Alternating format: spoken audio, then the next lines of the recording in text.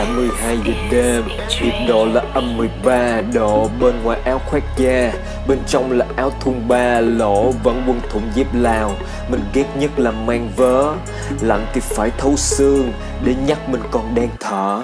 Nhìn những ánh đèn vàng, Có thể là mình đang mơ, Tìm thấy sự hoàn hảo ở trong tất thơ Còn gian dở. Ngồi phía sau vô lăng, Lướt đi trên con đường vẫn dư tiền đổ xăng nên có vẻ trời còn thương. Tốc độ lúc bình thường 2 km một phút. Tăng nó lên gấp đôi để gần chúa hơn một chút. Chiếc xe có màu đen men nó là chiếc xe đỏ. Nói chứ không phải khoe men nó là chiếc xe cổ. Lách qua lên bên trái là để né một chiếc xe tải.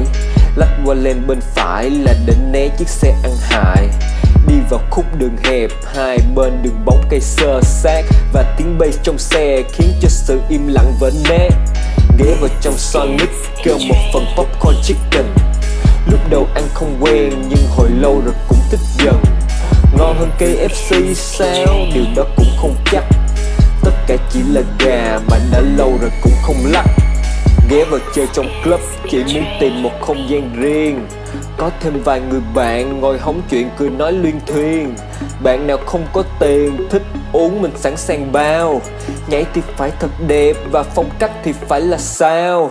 Chơi một hồi cũng chán, chuẩn bị về quay lại ra xe.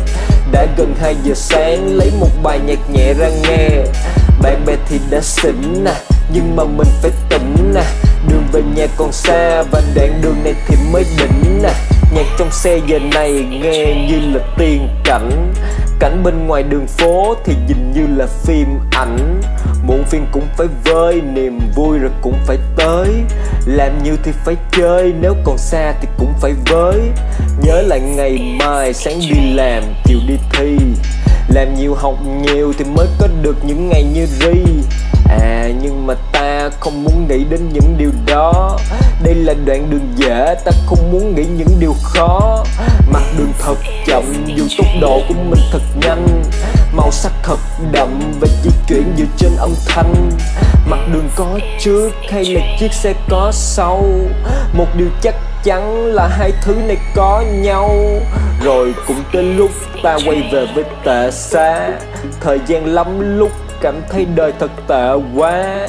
Nhưng cũng lắm lúc cảm thấy đời thật tệ quá. Vượt qua được pha quế thì phải cảm thấy đời phê quá. Không có những ai nhìn thấy mặt của thời gian.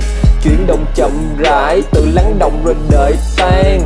Như là một lời ru để đưa ta vào giấc Ngủ cho thật đủ rồi ngày mai sẽ như cũ.